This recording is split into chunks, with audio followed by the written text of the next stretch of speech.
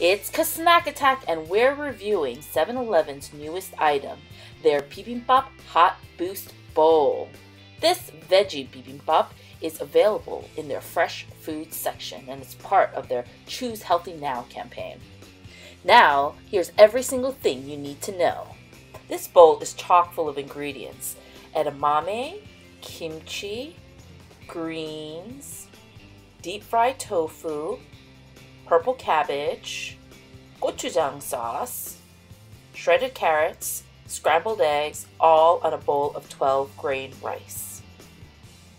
Microwave for 75 seconds, mix, and hey, you are ready to eat. I like that the bowl is a self contained lunch. It has a lot of good textures because the multigrain rice is slightly crunchy and chewy, and the veg is very refreshing.